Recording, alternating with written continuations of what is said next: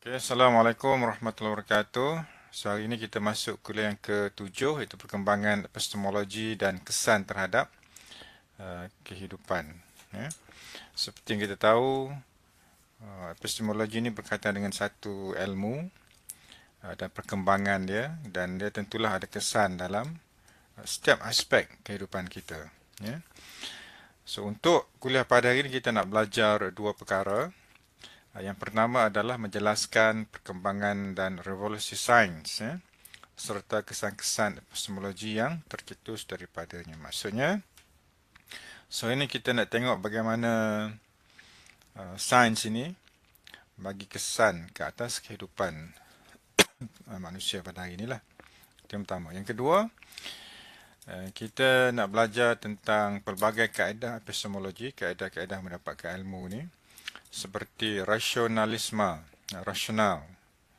Ha, ini sangat penting untuk kita menjadikan proses mendapatkan ilmu ni satu proses yang uh, logik, ya. Bukannya satu proses yang di luar daripada uh, gambaran ataupun pemikiran manusia. Tapi ada perkara-perkara yang irrasional yang berlaku dalam masyarakat uh, yang memerlukan kita berfikir lebih tinggi ya, pemikiran yang lebih jelas. yang kedua em. So, empirisme ni nanti tengok apa maksud dia. Uh, skeptisisme. Uh, skeptical eh sesuatu yang dalam keadaan yang was-was uh, empirisisme ni uh, yang sebelum ni kan empirisme ni berkaitan dengan angka-angka ya sesuatu yang kita boleh jangkakan kemudian wahyu dan tradisi intuisi dan ilham.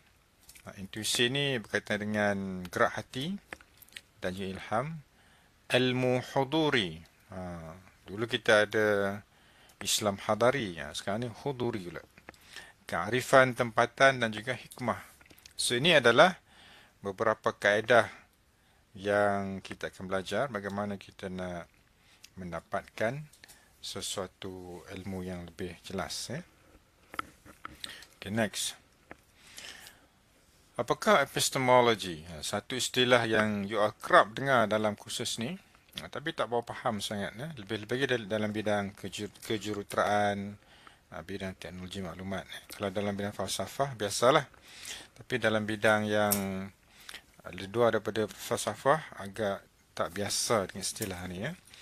So, epistemologi ni daripada bahasa Yunani bermaksud epistem, ya ilmu ataupun pengetahuan dan logos bermaksud teori.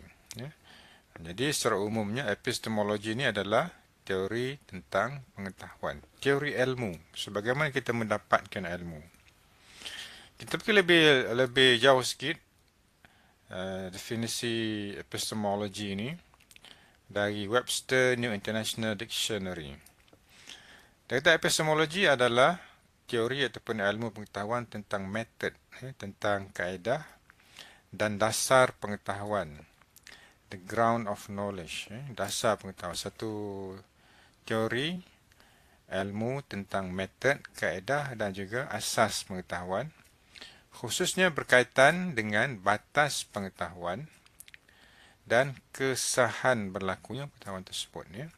Maksudnya, di mana batas pengetahuan yang kita boleh capai dan juga apakah yang mengesahkan pengetahuan tersebut ya. So bila kita sebut tentang epistemologi yang berkaitan dengan sesuatu ilmu mesti ada sesuatu kaedah untuk nak capai kepada ilmu tersebut. Okey contohnya ya.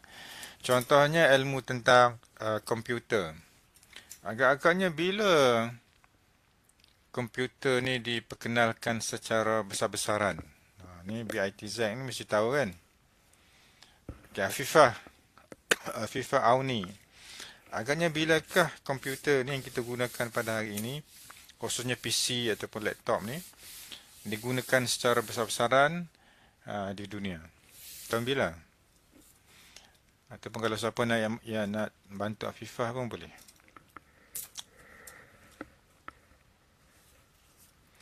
Okay, siapa yang tahu?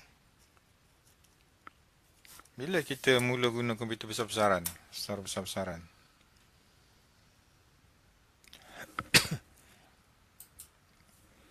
Ada tak?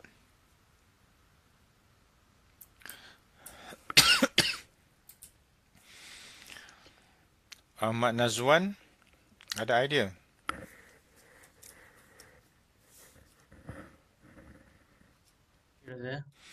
Bila kita guna komputer ni secara besar-besaran, maksudnya orang awam pun boleh pakai dah tak lagi satu yang eksklusif lah.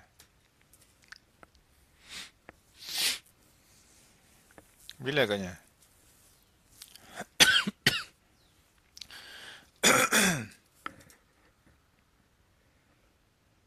Ingat?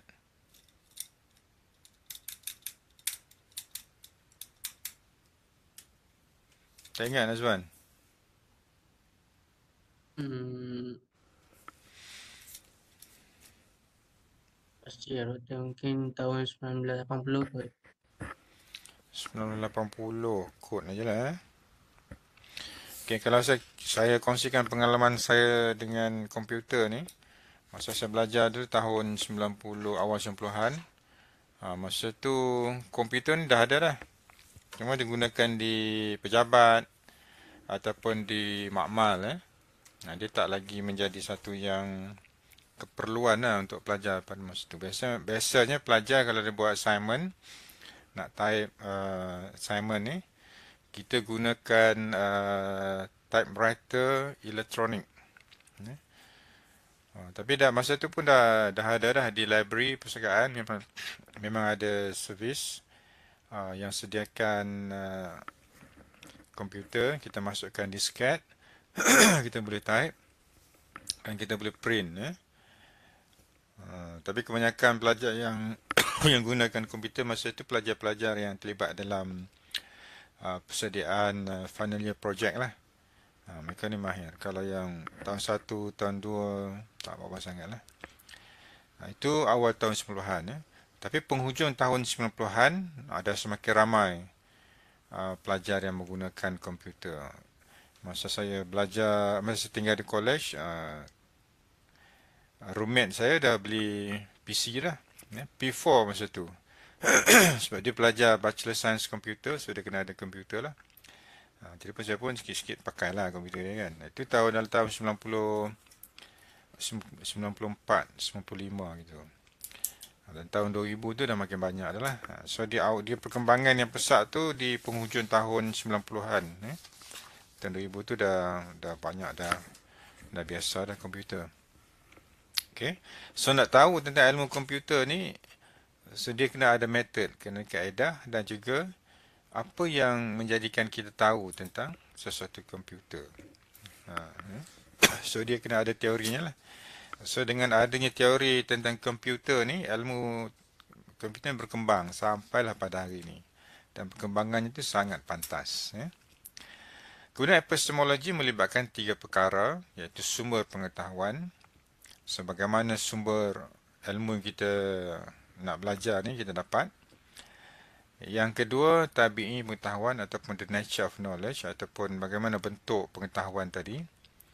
Yang ketiga berkaitan dengan kemungkinan dan batasan possibility and limits of knowledge lah. So ada tiga. So dalam bidang komputer ni saya, saya rasa dia punya limit ataupun batas-batas ilmu komputer ni masih lagi jauh lagi lah kita nak, nak, nak tengok sebab dia sentiasa berkembang dan berkait dengan uh, kehidupan manusia. Sekarang ni yang agak terkenal adalah uh, AI. AI pun dah semakin advance lah sekarang ni. Dia semakin lama semakin bertambah ilmu ni. Dan semakin berkembang. Eh. Okay, faham eh, epistemologi? Maksud epistemologi. So, kalau lihat kepada sejarah perkembangan uh, teori ilmu ni, uh, dikatakan bermula pada zaman Greek. Uh, pada zaman ini adalah zaman perkembangan falsafah yang besar lah, dan juga aktif. Uh. Selepas tu, zaman Rom. Zaman Rom juga masih lagi zaman berfalsafah. Kemudian dia berkembang sikit pada zaman abad pertengahan. Pada zaman ini uh, peranan gereja sebab pada masa tamadun ni banyak di sebelah barat. peranan gereja, gereja ni sangat besar dalam perkembangan ilmu. Ha, kalau kalau kalau you jumpa istilah teologi ni itu maksudnya berkaitan dengan agama lah. Dan selepas itu adalah zaman uh, contemporary, selepas dia panggil zaman Renaissance, uh, zaman kebangkitan ilmu sampailah sekarang. Yeah. So ada empat peringkat uh, sejarah perkembangan teori pengetahuan yang kita ada pada hari ini. Selepas ini pun akan ada lagi lah. Uh, mungkin kita panggil zaman apa zaman. Saya, ingat masih lagi ada dua zaman eh, yang akan dilalui, oleh manusia yang kita akan lihat perkembangan ilmu ni sangat advance. Eh. Barangkali sampai ke tahun 3000 ya, kita akan lihat perkembangan ilmu tu memang sangat advance. Uh, itu pun berkaitan dengan uh, teori kehidupan manusia. Adakah kita hidup ni sampai tahun dua, dua, uh, tahun 2000 saja ataupun akan berlarutan ke tahun 3000, 4000 sampai ke 10000 ya. Dia bermula dengan uh, alaf uh, alaf pertama dulu dah 1000 tahun. Kemudian masuk alaf kedua 2000 tahun. Alaf ketiga dan seterusnya lah. Uh, so kita pun tak tahu sampai bila kehidupan kita ni dan sampai bila ilmu tu akan terus berkembang. Tapi yang jelas adalah kalau bagi orang Islam uh, tanda-tanda ke penghujung zaman tu ada dinyatakan dalam Al-Quran dengan dan juga hadis. So bila tanda-tanda tu nampak, uh, so dia menunjukkan dunia ni akan menuju kepada pengakhirannya lah. Ha, itu dari segi agama Islam kita ada tanda-tanda batasnya. Agama lain pun saya pasti akan ada lah uh, tanda-tanda sampailah ke ke mana bumi ni akan boleh survive eh. Okay, next. so, kita detailkan sikit zaman Yunani atau zaman Greek ni. So, pemikiran pada masa zaman ini adalah pemikiran yang masih lagi uh, di peringkat uh, melihat dunia luar, metafizik. Yeah? yang berkaitan dengan dewa dan juga berkaitan kehidupan di luar dunia kehidupan manusia lah. Pemikirannya masih lagi pemikiran yang sistematik, yang tersusun. Ha, tapi dalam konteks yang berbeza dengan kita pada hari inilah.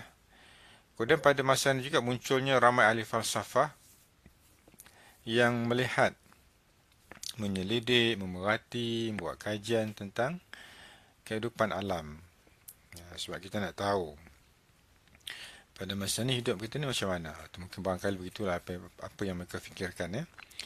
Yang kedua adalah zaman Romawi.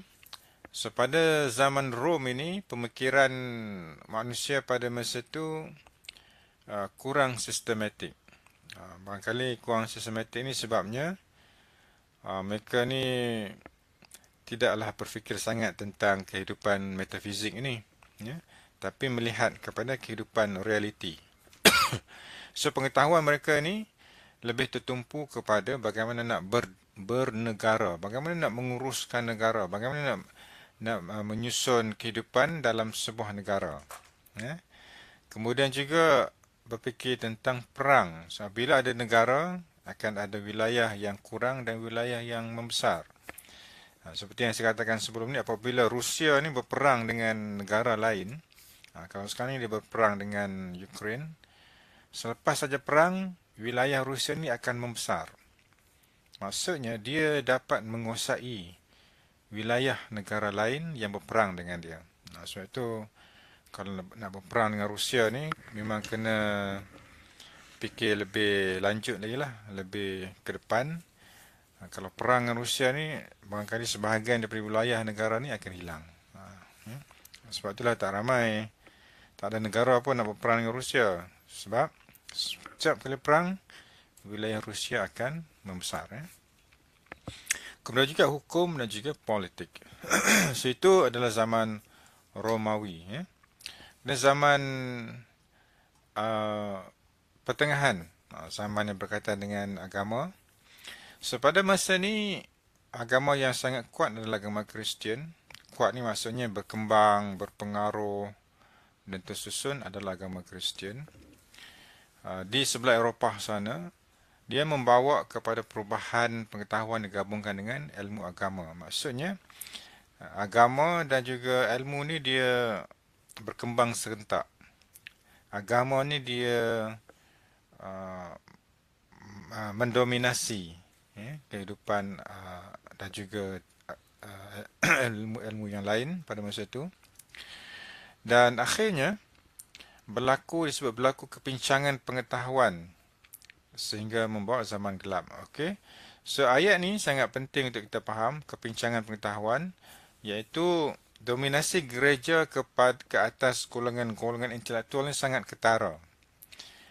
Apa yang berlawanan dengan kefahaman pihak gereja akan dianggap sebagai uh, menderhaka ataupun menentang gereja lah pada masa itu. so akhirnya tokoh-tokoh ilmuwan yang tidak sehaluan dengan gereja ini uh, mereka ni ditangkap, ditahan uh, dan dia dan juga dipinggirkanlah dalam masyarakat. Eh? dan itulah sebab sebagai zaman gelap, eh? the dark ages pada masa itu. Uh, ilmu itu tidak tidak berkembang. Kemudian di di dunia lain pula, dunia lain itu maksudnya di sebelah kehidupan yang lain pula di sebelah Arab ya. Uh, kemunculan uh, tamadun Islam ya. Dia telah menyebabkan perpindahan ilmu ya. So ilmu itu berpindah daripada uh, masyarakat Islam. Pada masa itu yang berkembang itu adalah di Andalusia, ya, di Spanyol lah. Dan pengaruh di Andalusia itu menyebabkan orang Eropah yang tidak sehaluan dengan gereja dulu, mereka ni belajar dengan ilmuwan Islam dan habis saja belajar mereka kembali ke tempat mereka di Eropah dan disitulah berkembangnya ilmu yang mereka dapat daripada tokoh-tokoh ilmu Islam di Andalusia. Ya. So Andalusia ini adalah satu tempoh yang agak panjang, lebih dalam 700 tahun. Ha, di situlah berlakunya perkembangan ilmu yang sangat hebat ya, di masyarakat dalam masyarakat uh, Eropah ketika itu. Dan pada masa sama, uh, masyarakat Eropah sendiri berada dalam dalam dunia yang gelap ya, dalam dunia yang tidak berkembanglah ilmu dia bermani dengan tambah Islam. So jadi ah, berlakunya pembawaan ilmu itu ke Eropah akhirnya telah mencetuskan zaman Renaissance, zaman kebangkitan. Ha, maksud kebangkitan itu kebangkitan ilmu lah. So disebabkan kebangkitan ini munculnya tokoh-tokoh ilmuwan yang berani menentang gereja dan akhirnya lahirlah pemikiran-pemikiran moden yang dikenali sebagai rasionalisme, idealisme, macam-macam idealisme lagi lah yang wujud selepas uh, zaman Renaissance ini. So dalam zaman Renaissance ini juga berlakunya revolusi eh, dalam pelbagai bidang kehidupan manusia di Eropah sana lah. Antaranya revolusi ideologi. Ya.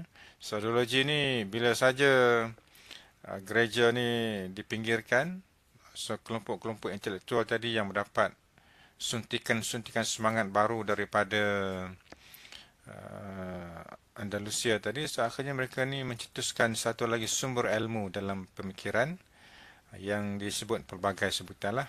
Kat sini ya contohnya adalah liberalism, socialism ataupun materialism ya. Kemudian juga uh, revolusi-revolusi yang bersifat politik yang menentang pemerintahan pada masa itu antaranya adalah revolusi Perancis ha, yang masih lagi ada kesan sampai sekarang eh. So dalam revolusi Perancis ni ha, kelompok-kelompok rakyat biasa ni dia bangun menentang penguasa untuk mengubah keadaan kehidupan pada masa itu kemudian revolusi ilmu ha, geocentric menjadi heliocentric ya, nanti kita tengok apa maksud uh, geo dan juga helio ni.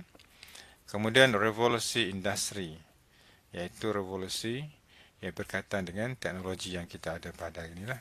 Uh, so kita tengok zaman uh, abad pertengahan ni adalah zaman yang merupakan peralihan ni daripada pemikiran teologi, pemikiran berasaskan kepada agama, khususnya agama Kristian, uh, kepada satu era baru yang lahirnya pemikiran-pemikiran moden yang menjadi asas kepada perkembangan pemikiran pada hari ini ya. Kemudian yang keempat adalah uh, zaman sekarang iaitu aliran-aliran yang bercorak baru dari segi teori-teori keilmuan ni iaitu fenomenologi. Ya. Sudah semakin berkembang aliran-aliran ilmu ni antaranya pragmatism. Ya. So, kalau dalam konteks kenegaraan, so kita praktis uh, teori atau aliran ni pragmatism ya, untuk kepentingan negara kita. Uh, nanti kalau ada masa saya terangkan bagaimana pragmatism ni uh, menjadikan Malaysia ni sebuah negara yang kita lihat pada hari inilah daripada sejak kita merdeka kita berkembang sampailah kita melepasi pelbagai halangan dan kita berada pada hari ini ya. kecenderungan kepada anti rasionalisme anti positivisme anti semuanya ada ya. So tadi ada aliran yang positif ataupun cenderung kepada rasional kemudian ada juga aliran yang cenderung kepada anti rasionalisme dia tak suka kepada rasionalisme ya. kemudian uh, tempoh sekarang pun orang mengkritik teori pengetahuan yang ada pada abad sebelumnya. Ialah dulu bila zaman permulaan nak mencari, nak berkembang sesuatu teori ini, banyak perkara yang mereka cuba dan juga jaya. Ya, so hari ini kita ambil kejayaan dan kegagalan mereka itu sebagai satu yang positif yang mendorong kita untuk uh, lebih memikirkan kaedah yang lebih sistematik dalam Uh, menyatakan sesuatu teori pengetahuan ya. Okey, uh, pada zaman pertengahan barat ni yang saya sebutkan tadi, pada zaman teologi ni, uh, sains telah ada di Eropah barat, tetapi perkembangan berlaku pada tahap yang terendah. Ya. Kenapa aktiviti sains tidak berlaku dengan pantas pada masa tersebut? Kerana uh, politik tidak stabil. Ya. Kemudian uh, gereja eh, yang ada kecenderungan yang negatif lah terhadap ilmu yang tidak diambil daripada ajaran Kristian. Kemudian uh, salah guna kuasa dan keempat ilmu ni eksklusif untuk institusi gereja. So apabila ilmu ni tidak dikembangkan di luar daripada kegerejaan, so dia tak berkembang dengan baik dan tidak ada budaya keilmuan tu. Ha, so bila dia keluar daripada gereja, daripada yang Kristian, barulah nampak dinamik ilmu yang ada tu lah. Ya. Boleh.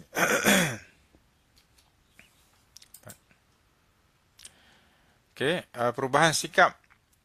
So pada masa tu, apabila gereja mengawal ilmu ni sebagai sesuatu yang eksklusif, apabila tamadun Islam ya tokoh-tokoh ilmu Islam ni membawa sesuatu yang baru dalam perkembangan ilmu so akhirnya wujud kesedaran ya, di kalangan uh, generasi baru masyarakat Eropah ni untuk melihat perkembangan ilmu yang orang Islam bawa ya.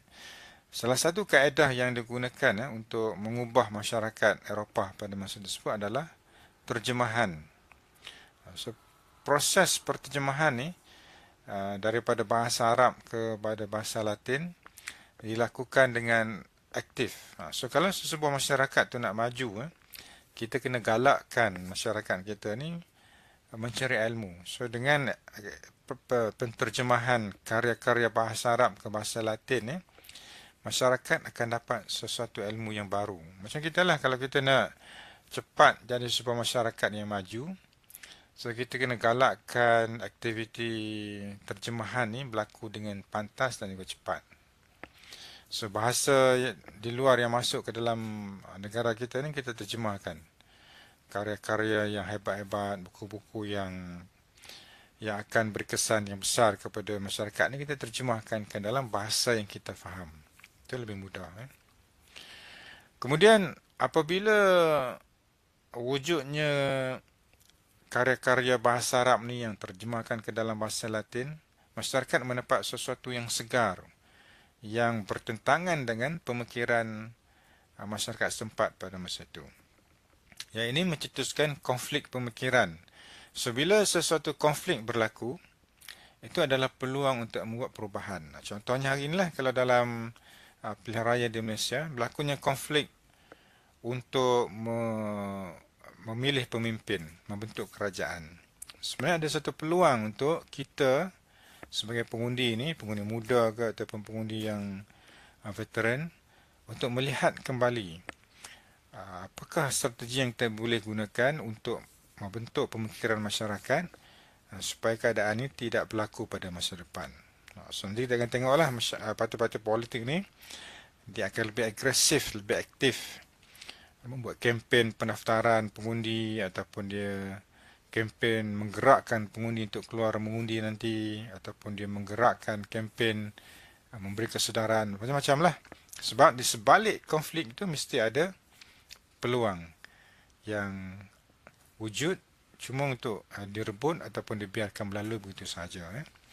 so penindasan berlaku hingga membawa kepada pelbagai hukuman antaranya excommunication, penyingkiran daripada komuniti gereja. Ex, excommunication, ya. Penyingkiran daripada komuniti gereja. Maksudnya, uh, golongan-golongan intelektual tadi disingkirkan daripada komuniti gereja. Lah.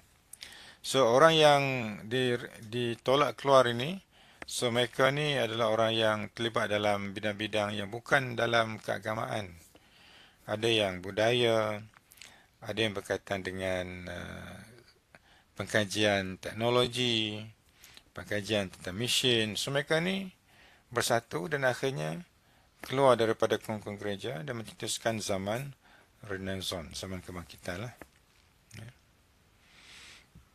So bermula, antaranya perkembangan yang pesat ni, tahun 1550 sampai 1700. Ya. Pada masa ni, Ha, sampai ke Melaka pun kena juga. Orang-orang Eropah ni keluar merantau mencari sumber-sumber baru dalam ilmu ni untuk membina negara mereka. So, akhirnya ada yang kena jajah, ada yang terpaksa berperang uh, untuk untuk memperkembangkan uh, satu lagi sumber pengetahuan dalam masyarakat. Dan juga revolusi ini melahirkan tokoh-tokoh dalam bidang yang pelbagai lah. Eh? Antaranya saintis, uh, ini biasa kita dengar, Newton, Galileo, uh, macam-macam lagi. Yeah? Kemudian uh, antaranya uh, Kepler, Newton ni, Newton ni, uh, mereka ni mencabar ya, teritori yang sudah ada. Kemudian juga uh, menyebabkan hegemoni Eropah berubah kepada technologically possible. Eropah ni dia pemikiran telah pun berubah yang menjadikan mereka berfikir bahawa teknologi ni satu yang uh, boleh berkembang uh, satu yang menjanjikan perubahan ya. Lepas tu uh, satu yang sangat penting di sini adalah anjakan pemikiran daripada ilmu itu berasaskan kepada agama kepada berasaskan kepada sekular. Pemisahan antara agama dan juga gereja. Ya. So agama ni tidak boleh bersatu dengan uh, pentadbiran, tidak bersatu dengan sukan. Ya. Ada satu kes di Amerika Syarikat, uh, pasukan bola keranjang, ya. satu sekolah nak bersaing lah. Dan uh, coach dia panggil semua pemain ni untuk berkumpul dulu buat bulatan, kerana mereka akan berdoa. Kemalangnya dia punya situasi tu dilihat oleh penganjur permainan ni dan dan minta kumpulan ini dibubarkan. Alasannya adalah tidak boleh mencampur adukkan antara agama dengan sukan. So kalau nak main, mainlah tak payah nak berdoa, tak payah nak ada elemen-elemen keagamaan eh, kepada pemain. So nak bersukan, sukan. Nak beragama, nak berdoa, pergilah ke gereja. Itu maksud sekular tadi. So nak main-main eh.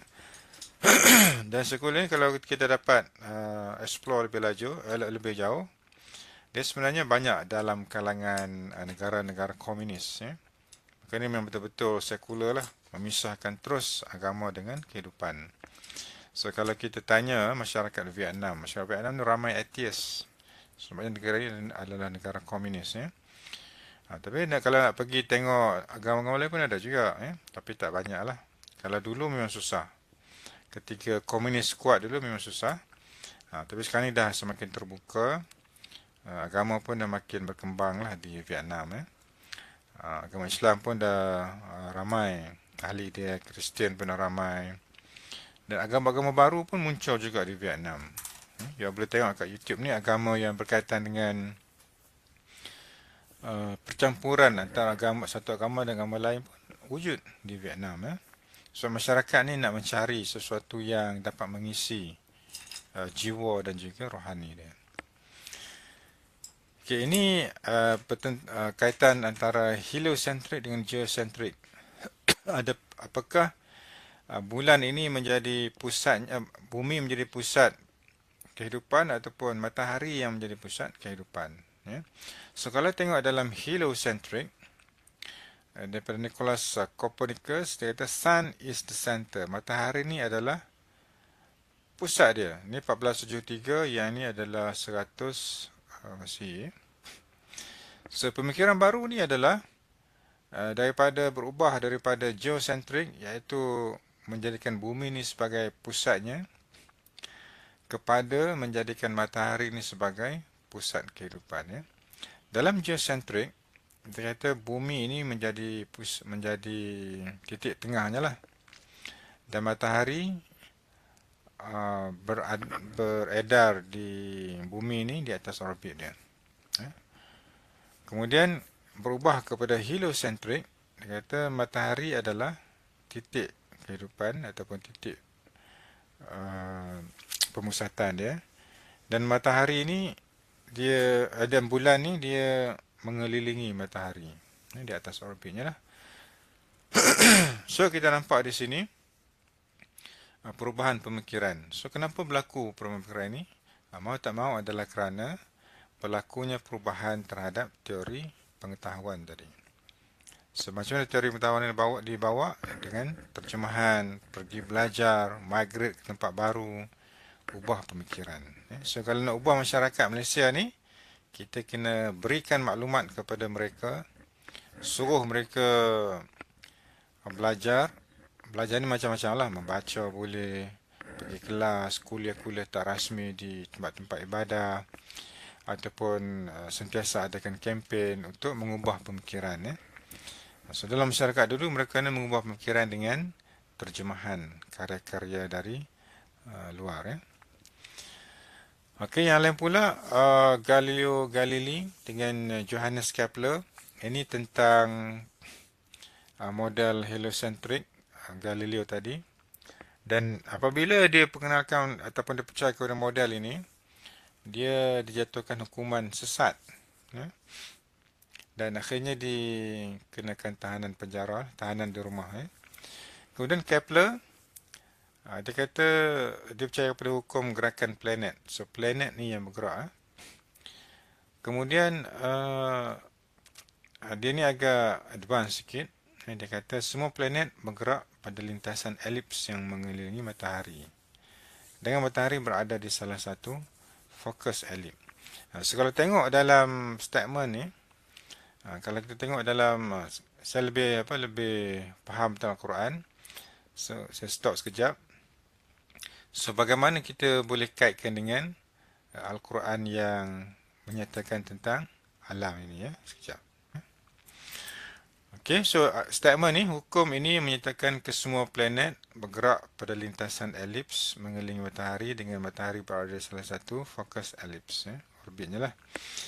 So memang dah ada, sebab itulah bila tamadun Islam ni berkembang di Eropah dan ditulis eh, dan karya terjemahan mereka ni diterjemahkan ke dalam bahasa Latin, orang Eropah pun mendapat ilmu baru tentang astronomi, tentang uh, bidang kajian planet-planet ni. Okay, yang lain-lain lagi, banyak lagi ya. Antaranya adalah uh, pergerakan dan graviti yang menunjukkan pergerakan fizikal di alam ini boleh difahami dengan kaedah fizik. Ya. Alam sebagai satu objek yang mempunyai sistem yang tersusun boleh dekat diramal dan juga dikawal. Sebanyak lagi yang berlaku apabila perkembangan pemikiran manusia ni mendapat ilmu yang baru. Yang kita lah, kita dapat ilmu baru ni, kita nak cuba. Kita nak buat sesuatu yang uh, nampak best sikit lah berbanding dengan keadaan sebelum ni. So, zaman yang lain yang berlaku itu adalah zaman pencerahan enlightenment. Eh. So dalam dalam zaman pencerahan ini uh, pemikiran-pemikiran barat berkembang dengan pantas. Eh. Mereka ini banyak menggunakan akal, saintifik, uh, pemikiran saintifik dan mencabar uh, struktur, struktur agama dan juga politik yang sedia ada. Maksudnya peranan gereja ni dicabar oleh masyarakat pada masa tersebut. Dan dia juga ada kesan kepada revolusi yang berlaku di Amerika dan juga di Perancis. Masyarakat itu berubah kerana pemikiran telah pun berubah. So, Malaysia ni nak berubah kerana ubah pemikiran rakyat dia.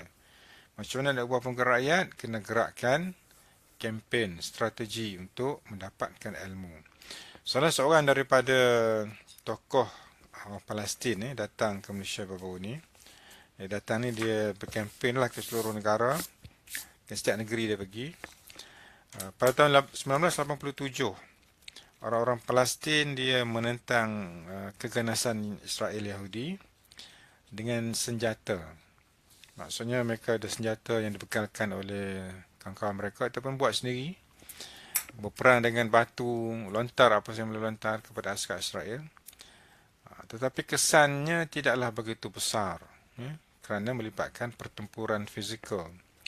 So apa yang mereka telah lakukan sekarang selepas itulah ya, adalah memperkenal, memperkenalkan ilmu ke dalam masyarakat Palestin, pelarian Palestin. Ya. Dan akhirnya masyarakat Palestin pada hari ini uh, terkenal dalam bidang pendidikan iaitu sebuah negara yang paling uh, ramai. Ya. sebuah negara Palestin ini yang paling ramai pelajar yang buat PhD dan pakar-pakar mereka ni bertebaran lah ke seluruh negara termasuk ke seluruh dunia termasuk di Malaysia. Ramai juga pakar dalam bidang IT, bidang engineering, kejuruteraan uh, orang Palestin ni yang duduk di duduk dan bekerja di Malaysia. Ya. Mereka ni kebanyakan duduk di universiti, universiti awam dan juga uh, swasta lah. Belajar dan bekerja di sini untuk mengubah kehidupan masyarakat uh, Palestin. Ya. So dengan ilmu ni mereka merubah kehidupan. Macam kita lah kalau kita nak mengubah kehidupan kita, kita dapatkan ilmu. Cari ilmu seberapa banyak yang boleh untuk mengubah pemikiran. Ya. So dalam zaman pencerahan ini, uh, autoriti pihak beragama ni dikurangkan. Pemikiran agama ni di apa di di dikikis lah sikit demi sedikit supaya manusia ni dapat berfikir menggunakan akal.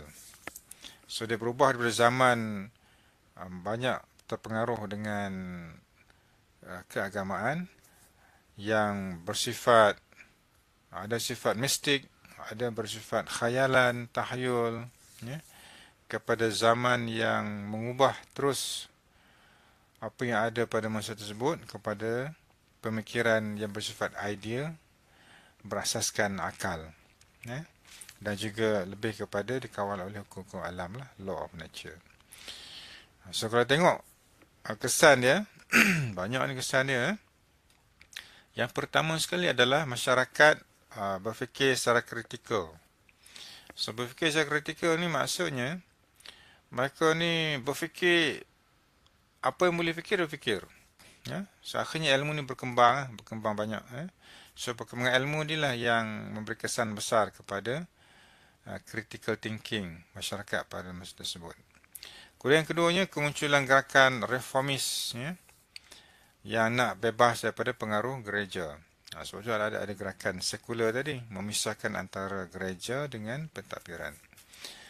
Kemudian kemunculan golongan ahli falsafah yang menekankan pemikiran kritis dan pemikiran bersifat rasionalistik dan saintifik. Nah, so pemikiran inilah yang sebaik-baiknya adalah masyarakat kita iaitu kita bersifat rasional dan saintifik. Ya. Kita masih ada lagi masyarakat yang berfikiran uh, kepada elemen-elemen uh, batin, batin, elemen-elemen metafizik tadi, elemen-elemen yang di luar daripada jangkauan pemikiran manusia. Masih ada lagi. Ya. Uh, tapi kalau kalau dapat lahirkan masyarakat yang ber, berfikiran kritis dan kritikal ni, adalah sangat baik lah. Kemudian golongan terpelajar ya, yang uh, memperkasakan lagi perkembangan ilmu ni dengan pelbagai sumber. So hari ini uh, kita tengok media sosial cepat berkembang ya, sebab perkembangan internet internet ni berlaku dengan pantas. Sebelum internet berkembang ni kita bergantung kepada surat khabar, kepada saluran media elektronik, televisyen, radio. Kalau nak hantar mesej tu, kita pakai telegram. Kalau pakai post biasa, lambat sampai. Kalau nak cepat, kita pakai telegram ataupun telefon lah. Ya. Ha, so sekarang dah ada email, dah ada macam-macam alat untuk menyampaikan mesej. Ya. Dan pemikiran manusia tu dah semakin cepat untuk membuat perubahan eh. Okey, macam mana nak dapatkan ilmu ni? Antaranya adalah rasionalisme yang saya sebutkan tadi kan, sampai kepada hikmah. Jadi 2 3 4 5 6 7 8. 8 kaedah nak dapatkan ilmu. So ada ilmu yang memang betul-betul bersifat uh, akal, dapat ilmu ni dengan berfikir, mengkaji, tapi ada ilmu yang tak perlu pun dapat secara akal, secara berfikir, secara mengkaji ni. Ya? Tapi dia turun atau dia muncul dalam masa yang tertentu. Ha, so itu yang kita nak tengok. Ilmu ni datang daripada mana. Okay, ada tiga yang penting rasionalisme yang pertama iaitu yang berpegang kepada akal, sumber pengetahuan dan kebenaran. So akal ni yang menjadi sumber pengetahuan dan kebenaran. Kena fikir lah. Ha, so sebab tu sebab kataan kena fikir ni adalah sumber kepada rasionalisme. Ya. Dan dia menggunakan elemen-elemen apa yang ada dalam diri manusia. Kita lihat, kita dengar, kita sentuh, kita rasa ni. Untuk uh, mendapatkan sesuatu yang kita nak lah. Ya. So kita berfikir dan kita menggunakan panca indera kita. Ya. So dalam rasionalisme ni uh, dia uh, menghargai ya, peranan diri-diri kita ni untuk dapatkan maklumat. Kita kata kebenaran mesti ditentukan melalui pembuktian logik. So mesti ada logik dia. Ya. Kenapa dapat sesuatu ilmu? Okay, kelebihan dia Ah, menyusun sistem falsafah uh, bersifat logik dalam matematik dan jelaskan kefahaman yang susah lah. Ya. Yang kedua, empirisisme berasaskan kepada uh, panca indera. So, ini dia betul-betul fokus kepada panca indera. Apa yang kita boleh rasa dan kita boleh alami. So, dia boleh pegang, boleh lihat, eh. dia boleh Uh, merasai dengan lidah dan sebagainya sebab dia nak sesuatu yang uh, real sesuatu yang pasti okay. dan tokoh ni adalah uh, John Locke Locke dia kata akal adalah seperti kita seputih tanpa ada pengalaman jadi pengalaman inilah yang akan mencorakkan kita seputih so dia percaya kepada kehidupan yang berpengalaman ya. Aliran disanggah oleh golongan agama kerana berfahaman atheist. So dia menolak kewujudan, pemikiran dan kewujudan Tuhan. Eh. Sebab semuanya semuanya kena ada bukti, kena kena boleh tengok, kena boleh nampak, kena boleh rasa. Eh. Kalau bawa tanya dia tentang ketuhanan memang dia tak percaya lah sebab dia kata tak nampak Tuhan. Eh. Sebab itulah golongan agama ni tak suka kepada empirisme. Ya. Kelebihan dia, uh, so dia memberi sumbangan besar bidang sains dan teknologi. Ya. Dan juga pembangunan barat pada hari inilah. Memang betul-betul material betul lah. Uh, apa ni?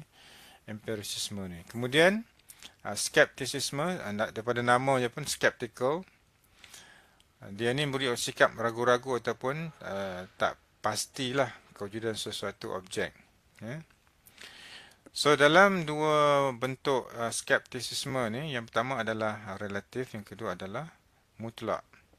So dalam relatif, satu kaedah yang melazimi uh, diri untuk memeriksa idea yang pengetahuan untuk memastikan ia tidak salah hingga yakin ia benar. Okay. So dia adalah satu kaedah untuk kita sentiasa periksa idea tu untuk pastikan dia betul lah. Ya? Sehingga kita yakin itu memang betul. Itu yang relatif. Kalau yang mutlak, uh, manusia tidak ada alat untuk memisahkan idea yang kiki dan juga tidak hakiki. So maksudnya, uh, keraguan yang betul-betul tak boleh nak tolak tu adalah memang manusia ni tak boleh nak bezakan antara satu yang uh, hakiki, satu yang wujud, satu yang benar dengan satu yang tidak benar. Ha, skeptical lah dia dalam keadaan ragu-ragu. Eh. Ini pun dah jadi satu bentuk pemikiran. Eh. so, kelebihan skeptisisme ni adalah dia menyumbang kepada perkembangan falsafah kerana dia memberikan ataupun uh, menunjukkan keraguan yang positif. Maksudnya setiap perkara ni nak kena tanya, nak kena kaji dulu. Eh. Tapi yang buruknya adalah dia uh, dia kata ada konsep berpasangan. Hitam putih betul salah dan sebagainya lah. Ya. Dan akhirnya dia pun confused kerana berwujudnya banyak pertentangan lah. Okay, yang ni tentang wahyu. So wahyu ni satu yang sangat uh, unik ya. Wahyu ni dalam agama Islam memang dijadikan sebagai satu elemen sumber wahyu lah ya? So ilham adalah satu lagi ilmu yang diperolehi dengan uh, penghayatan eh, serlangsung. Dia datang daripada Tuhan Allah Taala dan yang buruk ni datang daripada syaitan. So ilham ni sama ada baik ataupun buruk je. Ha, kalau yang baik ni uh, Tuhan yang bagi, kalau yang buruk ni syaitan yang bagi. Eh, memang berlakulah dalam dalam masyarakat juga. So berbeza antara wahyu dan juga ilham. So wahyu ni adalah uh, sesuatu yang Tuhan yang Allah bagilah. Eh? Dan diturunkan kepada para nabi dan rasul sahaja. Uh, dia tak tak bagi pada manusia biasa macam kita ni. Kalau dia kalau manusia biasa dapat itu namanya ilham eh? So ilham ni datang uh, penghayatan selangsung. Maksudnya dia khusyuk buat sesuatu perkara tu dia akan dapat. Okay? So Tuhan bagi pada orang yang dia hendak tapi hati mesti ikhlas lah. Ataupun mesti bersih. Barulah dapat. Eh. Okay, yang lain adalah naluri. Naluri ini uh, dapat secara, kalau dikatakan secara genetik. Eh. Dia, dia datang ni secara fitrah, secara semula jadi. Kadang-kadang dia, mungkin dia ilmu dia lebih sikit.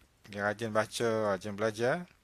So naluri dia hati ataupun hati naluri dia akan uh, memberi memberi sign, memberi tanda-tanda lah. Uh, contohnya kalau kita jadi seorang cikgu kan, cikgu di sekolah.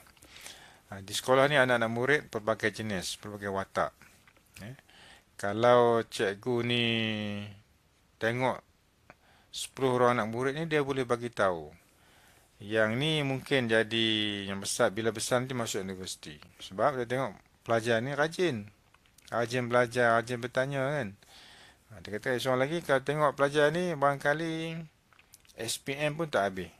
Sebab dalam kelas so buat kerja, kerja rumah tak siap, tak dengar cakap. Eh. Itu dari segi naluri dia lah. Naluri hati seorang guru. Eh. Ha, kalau kita bawa advance sikit, naluri hati ibu. Ha, lebih tajam lah daripada naluri hati ayah. Ha, so bagi kita ni sebagai anak-anak yang masih ada mak dan ayah kita dapat tengok naluri hati mak ke ataupun ayah yang lebih tepat ni yang lebih jelas lebih semak lah eh. Kemudian akal so akal pun adalah satu lagi bentuk sumber ilmu ha, tapi akal ni dia ada dia ada sempadan dia ya, dan dia perlu dibimbing Panca indera kita punya sense, kita ada lima panca indera. Tapi ada setengah tu dia ada enam, eh, six sense. Ha, so memang hebat lah. Ada, ada panca indera yang lebih advance daripada yang biasa. So rumusan daripada kelas kita pada pagi ni, sejam ni. Yang pertama adalah sumber ilmu dalam semua tamadun adalah sama kecuali wahyu. Okay. Sumber ilmu dalam semua tamadun adalah sama kecuali wahyu. Semaksud ilmu yang ada dalam setiap tamadun ni boleh didapati dengan cara akal, panca indera, pengalaman, ataupun secara uh, rasional tadi pelbagai pelbagai cara kecuali satu saja iaitu wahyu. So wahyu ni ada dalam tamadun Islam ya, dia yang di, dapat lihat uh, yang pertama dengan uh, Al-Quranul Karim eh. Uh, so Al-Quran yang yang yang kita dah bincang sebelum ini bangkali ia pernah dalam Al-Quran itu adalah satu wahyu satu yang diturunkan daripada uh, Tuhan eh, kepada orang Islam eh dan juga kepada uh, manusia lain juga. Hanya tamadun Islam yang menjadikan wahyu sebagai sebuah ilmu yang tertinggi. So dalam agama Islam, uh, bagi orang Islam ni, uh, Al-Quran ni adalah satu yang sangat hebat dari segi memberi maklumat yang sangat banyak. Ya. Kalau saya tunjukkan tadi, iaitu bagaimana Uh, penciptaan ataupun keadaan bumi dengan matahari ya. So dalam Quran dia kata uh, setiap planet ni dia tetap berada dalam kitaran orbitnya lah. Ya. Uh, dan alam yang kita duduk ni bukannya alam yang besar, malah ada lagi yang lebih besar daripada alam kita duduk ni. Kita ni kecil je. Ya. Uh, tapi dengan kekecilan kehidupan kita ni uh, Tuhan bagi Al-Quran satu yang sangat berharga untuk jadi jadikan sebagai panduan lah kepada orang Islam khususnya bagaimana menguruskan kehidupan. So dalam tu ada cerita sejarah, ada cerita sains, ya. ada juga tentang harta, pembagian harta, ada juga tentang bagaimana nak uh, membentuk keluarga yang baik ya, keluarga yang best lah ya, dalam Quran ataupun macam mana nak mendidik anak-anak bercakap dengan anak-anak pun ada dalam Al-Quran Al-Karim ya. Ataupun nak mencari calon suami isteri pun ada dalam Quran sebagai panduan lah ya. Ha, so hari ni kita nak cari calon calon boyfriend girlfriend ni ha, macam-macam cara kan tapi cara yang paling baik cara yang macam mana supaya kehidupan kita 10 20 tahun 30 tahun yang akan datang tu kehidupan yang kita lalui dengan seronok lah ya. sebab di akhir kehidupan manusia ni ha, daripada perspektif agama Islam ha, diterangkan dalam hadis ha, hadis Nabi hadis ni adalah kata-kata ataupun perbuatan ataupun respon daripada Nabi Muhammad SAW dia kata apabila matinya seseorang anak Adam anak Adam ni daripada kita lah akan ditinggalkan tiga perkara. Ya. Yang pertama, doa anak yang soleh. Doa anak yang soleh. Anak soleh ni bahasa Arab lah, baik. Ya. Ataupun soleha. So, siapa yang ada mak ayah ni, dia berterusanlah berdoa kepada mak dan ayah dia. so, anak yang soleh. Ya. Yang kedua, sedekah. Ya. sedekah yang memberi manfaat kepada ramai orang lah. Sedekah ke infak ke itu sebab adalah bekalan kita bila kita mati nanti. So yang ketiga adalah ilmu yang bermanfaat. Ha, so kalau nak jadi uh, nak dapatkan tinggalan yang baik ni so berilah ilmu yang baik kata-kata nasihat ke panduan-panduan yang baik ke atau belajar Uh, tinggi-tinggi so akhirnya sampaikan balik kepada orang lain so itu adalah sebahagian daripada bekalan uh, bagi orang Islam lah eh, untuk hidup di alam uh, akhirat nanti so, ini yang tiga perkara yang akan dinilai nanti. Ada, apakah kita ni anak anak yang soleh? Adakah kita selalu bersedekah? Apakah kita selalu mem memanfaatkan ilmu yang kita ada? Ya? so untuk nak nak dapatkan uh, tiga-tiga bekalan ni so kita tahu dengan cara wahyu ni lah. Uh, kalau nak fikirkan tak dengan akal susah kita nak dapat satu rumusan yang tepat ya tentang bekalan yang kita kena bawa selepas kita meninggal dunia ya. Okay, sehingga itu sahaja untuk uh, hari ini iaitu uh, kuliah kita yang ketujuh